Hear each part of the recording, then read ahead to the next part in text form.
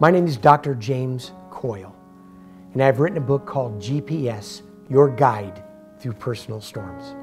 Well, my experience is uh, pretty vast. I, I, deploy all over the world bombings, tornadoes, fires, anything where there's um, a traumatic event.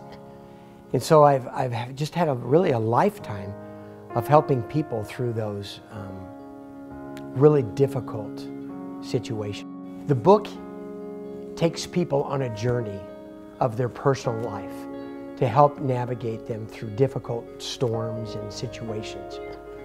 So everything about this book is about helping people. Um, I've been a counselor my entire life. I've pastored for 34 years as well. I think this book will assist people that are just going through difficult times and have navigated through different storms in their life. So this would be a great resource tool, a help to guide them, and not only them, but others that are going through it. So it'd be, it would help them to help others as well.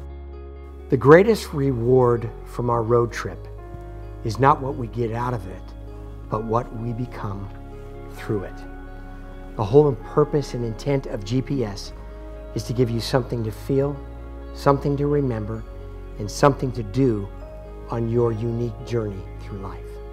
If you're interested in this book for yourself or others, you can find it at Barnes & Noble, Amazon, and my website, drjamescoyle.com.